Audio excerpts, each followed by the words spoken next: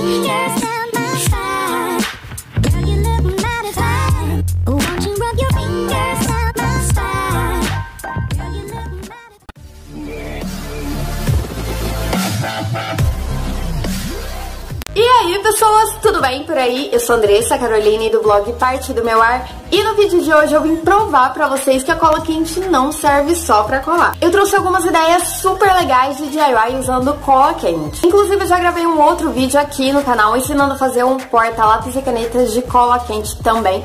Eu vou colocar o link aqui em cima nos cards, é, mas como eu tava bem no início do canal, foi um vídeo bem improvisado assim, mas vale muito a pena assistir pra aprender a fazer também. Mas antes de mostrar essas ideias, eu quero saber se você já se inscreveu no canal. Se ainda não se inscreveu, clica aí embaixo, se inscreve e ativa o sininho, porque aí você recebe todos os meus vídeos assim que eu postar. E se estiver gostando do vídeo, não esquece de deixar aquele like aí embaixo. Então, bora lá pro DIY?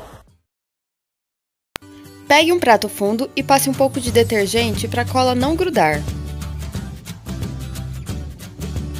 Depois de espalhar bem, comece fazendo um círculo no fundo do prato. Faça várias linhas ligando um ponto ao outro e não deixe muito espaço entre elas que é para o acabamento ficar melhor. Depois, faça mais linhas na horizontal e reforce em volta do círculo. Decorar em volta, eu fiz vários círculos assim pela metade, como se fossem escamas, mas você pode decorar do jeito que você quiser, aí vai da sua imaginação. A única regra é ligar sempre um ponto ao outro para ficar bem firme. Depois é só retirar que vai sair tranquilo.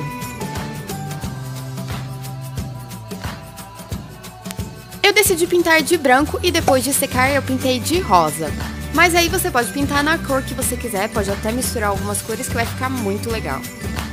E depois que secou, eu passei esse verniz para ele ficar com um acabamento mais brilhante e mais bonito, mas é opcional. E ficou pronta a nossa cestinha de cola quente. Você pode colocar bijuterias, material escolar ou o que você quiser. E olha, eu fiz nesse formato do prato, mas você pode fazer no formato que quiser.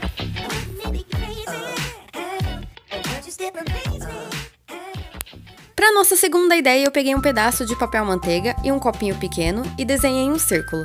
Depois, com o lápis mesmo, eu fui desenhando um círculo no centro menor. Com a cola quente, eu fui preenchendo todo o círculo, menos o do meio. E aí, tá gostando do vídeo? Então já deixa aquele like aí embaixo. Depois de secar, preencha a outra camada. Para fazer o ganchinho do chaveiro, pegue um clips, abra e corte usando um alicate. Eu usei a tesoura porque eu não tinha alicate, mas tome muito cuidado. Aí eu só apertei para ficar assim.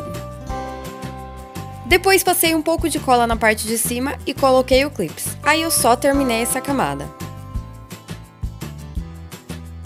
Fica mais ou menos dessa altura.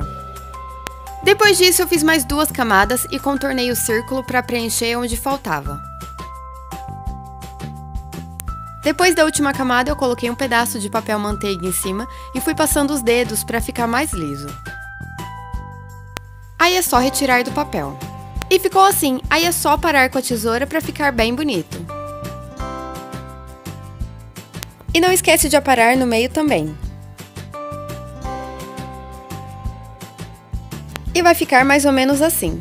Depois eu pintei ele inteiro com a tinta marrom para ficar que nem uma rosquinha.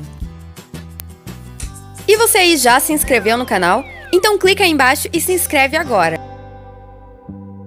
Para fazer a cauda eu usei o esmalte, mas você pode usar tanto o esmalte quanto a tinta PVA. Aí é só esperar secar. Depois eu peguei algumas cores e fui fazendo os granulados com um pincel bem fininho. E para finalizar, passei um esmalte de brilho para proteger. E por último, é só colocar a pecinha do chaveiro.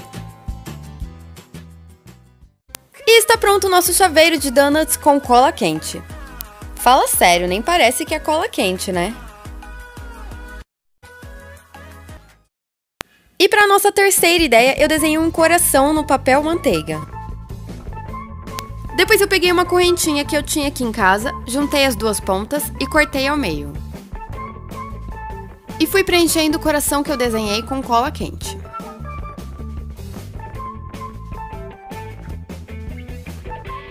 Aí coloquei uma ponta de cada parte da correntinha que eu cortei em cada lado do coração e preenchi com cola quente. Coloquei o papel manteiga em cima e fui passando para ficar bem lisinho. Depois é só retirar e aparar com uma tesourinha para retirar as imperfeições.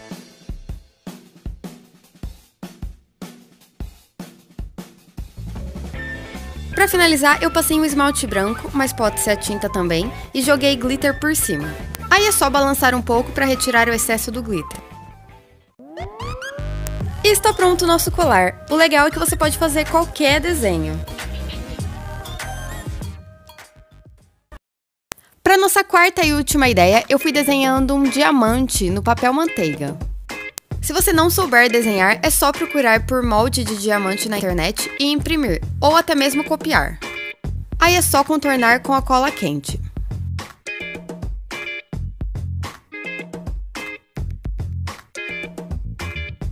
Não esquece de fazer o ganchinho também para pendurar depois. Aí é só retirar. E vai ficar assim. Aí eu virei do outro lado e fiz mais uma camada de cola quente.